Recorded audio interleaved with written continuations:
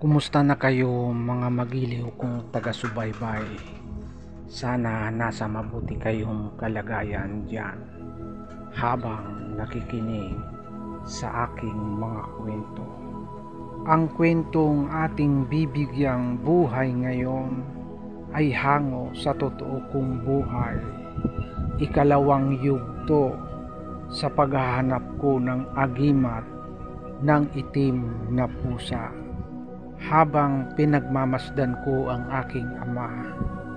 Tumitsempo ako kung nasa mood na siya dahil sa ilang araw na rin ang lumipas nang ako'y latiguhin o hambalusin o paluin ng sintron dahil sa ginawa ko sa kanyang apong si Dali.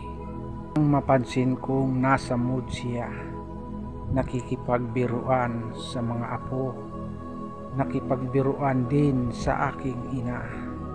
Lumapit ako sa kanya at nagtanong, Tatay, itatanong ko lang po sa iyo. Ano yan, sos? Yung tungkol sa agimat ng itim na pusa. Ayan ka na naman. Ang kulit mo talaga. Pwede ba tigilan mo na yan kaaagimat mo ng itim na pusa? Mapapahama ka. Itatanong ko lang po, tatay, kung talagang hindi totoo ang agimat ng itim na pusa. Alam mo, sos, totoo ang agimat ng itim na pusa. Subalit ang ginawa mo'y mali. Ang pagkuha ng agimat ng itim na pusa ay sa tamang proseso, sa tamang paraan. Dapat ikaw mismo ang humuli ng itim na pusa at inilibing mo ang itim na pusa ng buhay bago ang Biyernes Santo. Ang ginawa mo kasi ay yung pusang patay na na nakalibing, yung pusang inilibing ng kuya mo. Hindi uobra yung ganong mga proseso. Muli na namang nabuhay ang aking pag-asa para magkaroon ng agimat ng itim na pusa. Nag-uumapaw sa aking damdamin kung papaano ako makakahanap ng buhay na itim na pusa. Bagamat malayo-layo pa ang araw ng Bernes Santo, dapat ko itong paghandaan. Ngayon pa lamang maghahagilap na ako ng itim na pusa para aking huhulihin kapag ka malapit na ang araw ng Bernes Santo. Lumipas ang mga araw, mga linggo at mga buwan. Dalawang buwan na lang. Sasapit na ang Bernes Santo. Kaya dapat na akong maghanda. Hahagilap ng mga itim na pusa. Naikot ko na ang buong barangay ng aming lugar Subalit ni isang itim na pusa wala akong nakikita. Kaya sumagi sa aking isipan doon ako sa gubat maghanap ng itim na pusa sapagkat alam ko maraming mga ligaw na pusa na doon naninirahan sa gubat. Kaya inumpisahan ko nang maglakad para pumunta sa gubat nang makarating ako sa paanan ng kagubatan, bigla akong may napansin na mga pusa.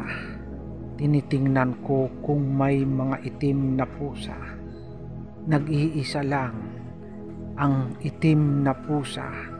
Alam ko ang mga pusang ito kasama ng itim na pusa ay mga matatapang, mabibilis tumakbo ayaw lumapit sa tao. Umupo muna ako sa may puno para mag-isip kung papaano ko huhulihin ang itim na pusa. biglang sumagi sa aking isipan na pwedeng pakainin ito. Kaya umuwi muna ako. Kumuha ako ng makakain ng mga pusa. Isda ang kailangan sapagkat ang mga pusa ang alam ko matatakaw sa isda. May dala na akong isda. Nakarating na muli ako sa paanan ng kagubatan. Salamat naman at naroon pa rin ang mga pusa. Nang ipinaamoy ko sa kanila ang dala kong isda, nagsilapitan ang mga pusa at ibinigay ko naman ang isda. Kinain ito ng mga pusa, subalit laking pagtataka ko. Ang itim na pusa ay hindi lumalapit, kaya dahan-dahan ko itong nilapitan habang ako'y palapit ng palapit Palayo naman ng palayo ang itim na pusa. Ibinawagayway ko na ang isda para maamoy niya ito. Subalit hindi pa rin niya pinapansin ang isda. Kaya ang ginagawa ko, sinusundan ko na lang siya habang naglalakad palayo sa akin. Paminsan-minsan naman lumilingon sa akin ang pusa. Hindi ko na namalayan nasa gitna na kami ng kagubatan. Hindi ko na rin nakikita ang iba niyang mga kasama sapagkat nasa gitna na kami ng kagubatan. Napansin ko sa aking paligid ang lalaki ng mga punong kahoy. Tila baga hindi pa namin ito napasok. Hindi ko pa nakikita ang mga kahoy na ito. Ang lalaki, sobrang laki ng mga kahoy kaya naman biglang nawala sa aking paningin ang itim na pusa. Laking panghihinayang ko dahil sa malalaking kahoy. Hindi ko natuloy napansin ang itim na pusa. Patuloy akong dahang-dahang naglalakad. Baka sakali sa unahan ay naroon ang itim na pusa. Doon ako pupunta sa pinakamalaking kahoy napansin ko nga naroon ang itim na pusa na tila baga inaantay niya ako. Nang malapitan ko na ang itim na pusa, bigla itong kumubli sa malaking puno. Ang ginawa ko'y inikutan ko ang malaking puno. Handang-handa na ako. Kapag ka nakita kita itim na pusa, talagang dadakmain kita Di bali nang makalmot, mahuli lamang kita. Pagdating ko sa kabilang gilid ng malaking puno, bigla akong nagulat. Wala na ang itim na pusa, subalit may matandang nakatayo, matandang babae. Paano ka nakapasok dito? Ano ang hinahanap mo? Nagbigay galang naman ako sa matandang babae. Lula, magandang araw po. Naghahanap po ako ng itim na pusa. Nakita mo po ba ang itim na pusa?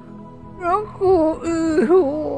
Walang itim na pusa dito. Doon sa pinanggalingan mo, maraming pusa. Kumuha ka na lang doon kahit ilan. Lola, ang gusto ko'y itim na pusa sapagkat doon ako makakakuha ng agimat. At dito po sa punong yaon, dito ko nakita ang itim na pusa. Saan na po ba kaya siya? Aanhin mo ang pusang itim. Lola, bago mag Santo, ililibing ko po siyang buhay. Lapastangan kang bata ka. Kailangan kang mawala. Gusto mo ba talagang makakuha ng itim na pusa?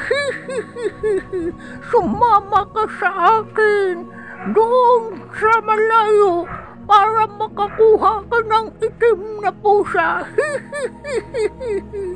Mamaya-maya, bigla kong narinig ang boses ng aking ama. Tinatawag ang aking pangalan. Sos, Sos, nasaan ka ba? Nandito ka ba? Pilit ko namang hinahagilap kung saan nagmula ang boses ng aking ama. Nang paglingon ko sa matanda, bigla itong nawala sa aking paningin. Mamaya-maya, dumating na ang aking ama. Anak, ba't ka narito? Delikado ang lugar na ito.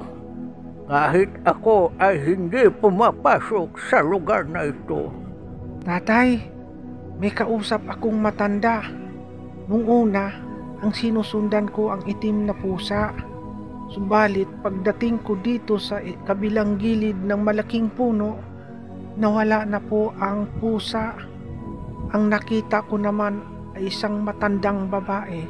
Galit pa nga tatay ang matanda, napastangan daw ako, dadalhin daw niya ako sa malayo para bigyan ng maraming pusa. Alam mo, Sos, ang matandang nakikita mo ay siyang may-ari ng mga pusa dito sa kagubatan. Mabuti na lang inabot kita. Kung hindi kita inabot, siya ang iyong kapahamakan. Tayo na anak, uuwi na tayo. Hindi pa tayo tapos. Saka na pagdating sa bahay. Lihim akong natatakot sa sinasabi ng aking ama. Hindi dahil sa matanda, kundi dahil sa sinasabi ng aking ama na hindi pa raw kami tapos. Pagdating namin sa bahay, inihahanda ko na ang aking sarili Tiyak na tiyak ang aking parusa, ang parusa ng latigon ng sentro ng aking ama. Habang inaantay ko na bunutin o tanggalin ng aking ama ang kanyang sintron para ihambalos sa akin, nagsalita ito. Anak, alam mo ba, ang totoong agimat ay nasa iyo na ikaw ay mabuting bata. Ang gawin mo lang, ipagpapatuloy mo ang iyong ginagawa patungkol sa mabuting asal sa magandang pakikisama sa kapwa-tao. At sigit sa lahat, anak, maging masunurin ka sa iyong mga magulang at maging mabuti ka sa iyong kapwa at higit sa lahat, sundin mo ang kalooban ng ating Panginoong Diyos. Sa Kanya ka umasa, sa Kanya ka sumandal, sapagkat walang makakadaig sa kapangyarihan ng Diyos, sapagkat siya ang nagmamay-ari sa lahat ng bagay dito sa mundo. Maraming maraming salamat po sa patuloy niyong pagsubaybay at pakikinig ng aking mga kwento, mga totoong kwento sa nangyayari sa aking buhay. Huwag po nating kalimutang i-like, i-share, at higit sa lahat, i-subscribe ang aking channel. Just all around.